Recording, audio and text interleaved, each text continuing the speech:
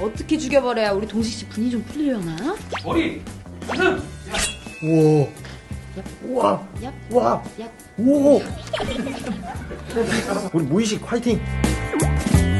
판타지 같지만 가장 현실적이게 공감하고 세상을 살아가는 방법에 대해서 고민을 하시는 분들이라면 소시민들이 멋지게 나쁜 사람들을 이겨나가고 동식이라는 인물이 착각하고 변화해가는 과정을 유쾌하게 그린 작품이라고 생각을 합니다. 누구든지 재밌게 봐주실 수 있을 거라고 생각합니다.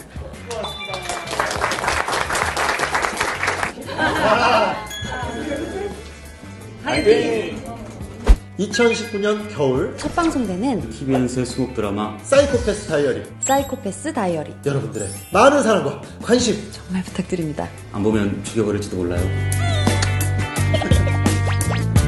부탁드립니다.